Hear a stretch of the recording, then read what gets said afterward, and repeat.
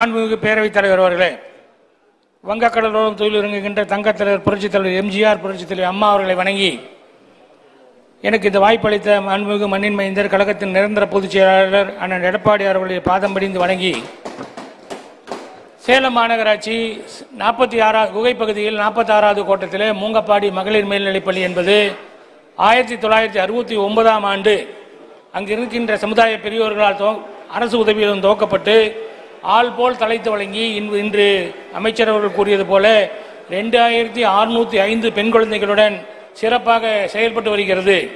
இந்த பள்ளியிலே கட்டிடங்கள் குறைவாக இருக்கின்ற காரணத்தினாலே ரெண்டாயிரத்தி ஆறாம் ஆண்டு நான் முதன் முதலாக சேலம் மாநகராட்சிக்கு மாமன்ற உறுப்பினராக தேர்ந்தெடுத்தது தேர்ந்தெடுக்கப்பட்டது முதல்.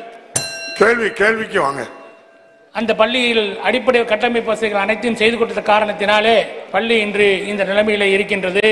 பள்ளிக்கு தற்போது கூடுதலாக பதினைந்து வகுப்பறைகள் தேவை. அதில் பன்னிரண்டு வகுப்பறைகள் கட்டுவதற்காக திட்டம் தற்போது இருப்பதாக நான் அமைச்சர்கள் கூறியிருப்பதற்கு அமைச்சருக்கு நன்றி கூறி இனி வரும் ஆண்டுகளிலே மீண்டும் அந்த பள்ளிக்கு மற்ற மற்றவர்கள் செய்து தர வேண்டும். ஏனென்று சொன்னால் மாநகராட்சி பள்ளிகளிலேயே அந்த பள்ளி சேலம் மாநகரத்தில் பல நீங்க ரெண்டு கேள்வி கேட்டிருக்கீங்க அமைச்சர் பதில் சொல்லுங்க. அமைச்சர் அதுக்கு பதில் சொல்லுங்க. மாண்புமிகு பேரவைத் தலைவர்களே மாண்புமிகு சட்டமன்ற உறுப்பினர்கள் சொன்னதில் உண்மைதான்.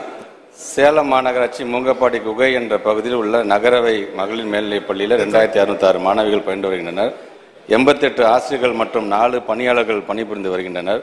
பள்ளியில் ஐம்பத்தி மூன்று வகுப்பறைகள் ஒன்பது ஆய்வகங்கள் மற்றும் ஐந்து ஸ்மார்ட் கிளாஸ் வகுப்பறைகள் உள்ளன. மேலும் மாணவியருக்கு முப்பத்தெட்டு எண்ணிக்கையில் கழிப்பறை வசதியும் உள்ளது.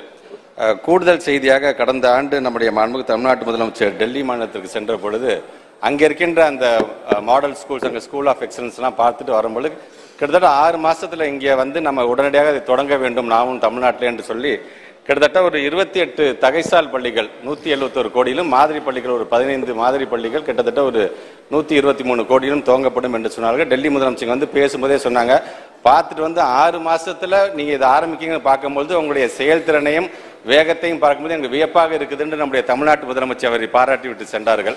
இதை சொல்வதற்கு காரணம் அந்த 28 தகைசால் பள்ளியில நீங்க சொல்ற பள்ளியும் ஒன்றாக வருகிறது. கிட்டத்தட்ட அதற்கென்று ஆறு கோடி முப்பத்தெட்டு லட்சம் ரூபாய் ஒதுக்கீடு செய்யப்பட்டிருக்கின்றது. கண்டிப்பாக நீங்கள் சொல்வதை காட்டிலும் இன்னும் அதிகப்படியான அந்த இன்ஃப்ராஸ்ட்ரக்சரோட அந்த பள்ளிக்கூட வருங்க நன்றி. மாண்புமிகு உறுப்பினர் நன்றி சொல்லுங்க.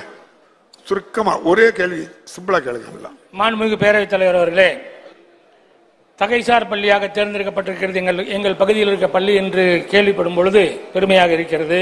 இருந்தாலும் கூட இதய இதயம் புரட்சித் தலைவர் அம்மா அவர்களால் தொடங்கப்பட்டு இல்ல என்ன வேணும்? நீங்க ப்ளீஸ்.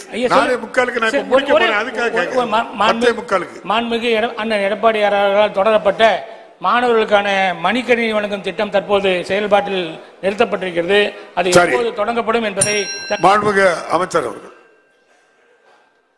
மாண்புமிகு